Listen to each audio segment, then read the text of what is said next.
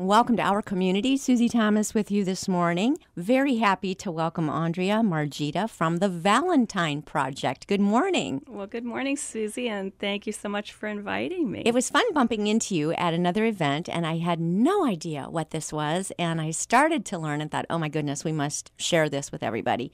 Um, the Valentine project. Why are we talking about Valentine's in October? Well, that's a great question. So, well, I'm I'm really happy to be here because it's actually my favorite subject to talk about, the Valentine Project.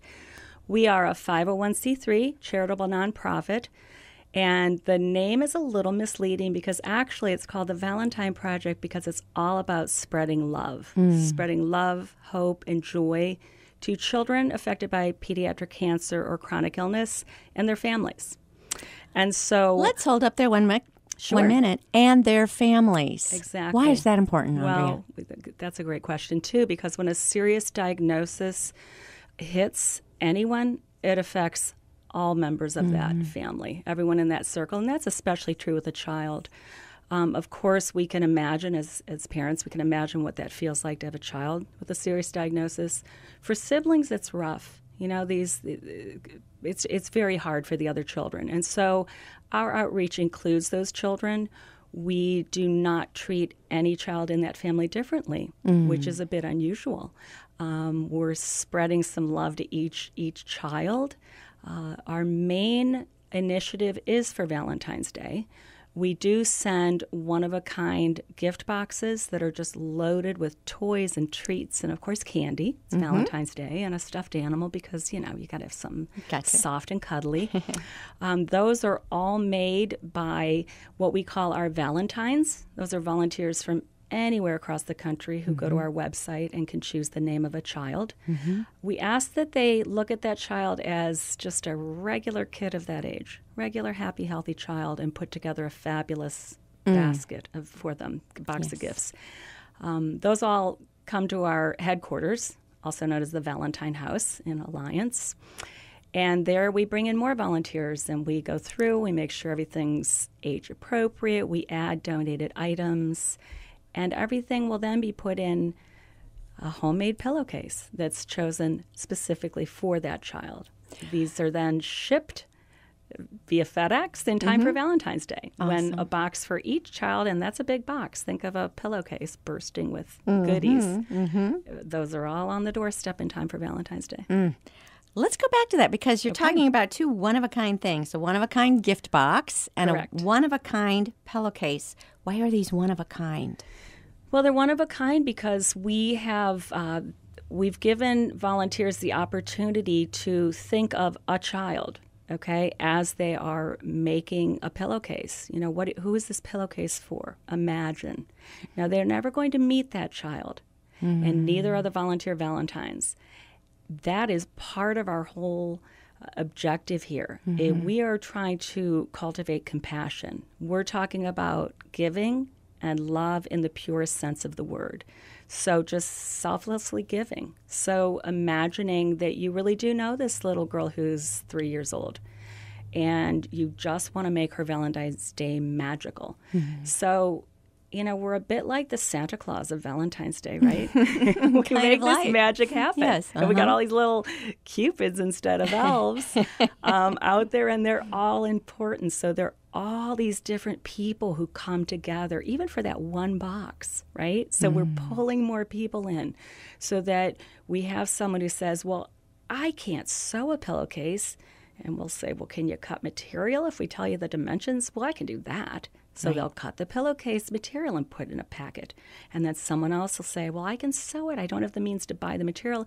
And so there you have even more people being pulled in. Mm-hmm. Um, so we really are this this we've just got this massive crew of volunteers we don't obviously we've never met many of them and you say this is not it's a local but national organization it it is where do these volunteers come from well it's it's so i'll back up just a 2nd uh-huh. and kind of tell you how it all started okay please um, because i think it's important to realize it didn't start as a nonprofit it started um, actually two two siblings an alliance mm. who who happen to be my kids. Oh, they're all grown up now. Oh my goodness! Yeah, yeah well, that's extra special. So it is special. So um, my son was in high school, mm-hmm. Gregory, mm-hmm. and my daughter Michaela was away at college.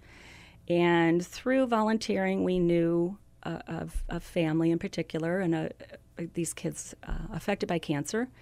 Uh, like most people, our family has been affected by cancer and other serious diagnoses.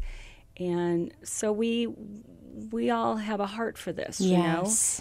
you know. And um, so the kids wanted to do something. They wanted it to be anonymous. They picked Valentine's Day because, as they said in their sweet, naive way at that time, isn't that a holiday all about love? And kids love Valentine's Day. It's a big deal to them. Yeah. So it started on a national level actually as a Facebook event because Oh. because it had to be anonymous. Nobody could know what was happening in this Right. in our home. Um, first year we had 88 children on that list. 88. And these were kids with pediatric cancer and their siblings. That's what we were volunteering with. Mm-hmm. Right away, right out of the gate, it was the including 88. the, Mhm. the always siblings. the siblings, always the siblings. And so um, packages. uh, My daughter put it up as a Facebook event at her very tiny college with maybe 600 students from around the world.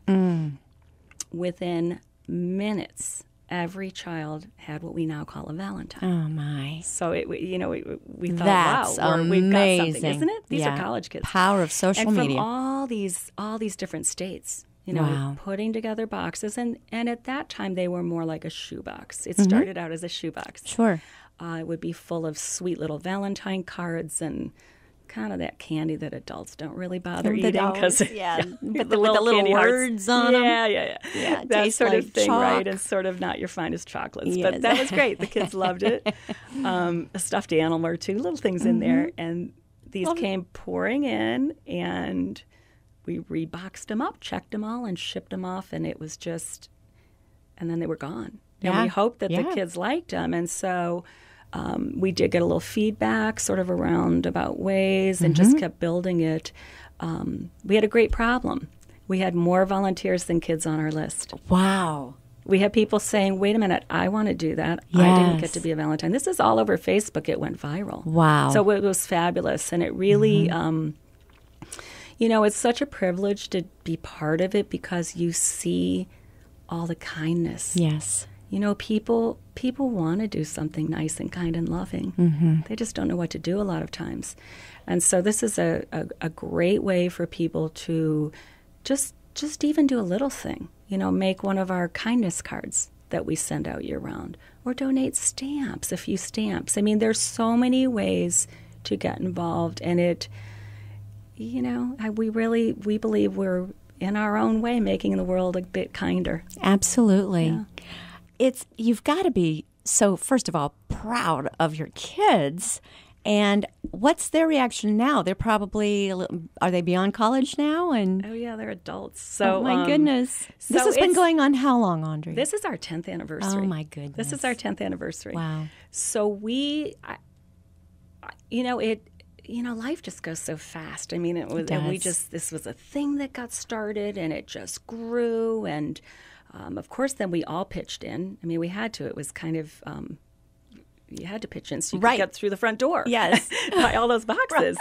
So it it grew, and we decided. Um, my son went off to college. He Mm-hmm. thought he would do it out of his dorm room before he left. He said, Mm. I, "I can do this at my school." And I thought, "Yeah, we, we're doubling every Maybe year. not- We're tripling. I don't see that."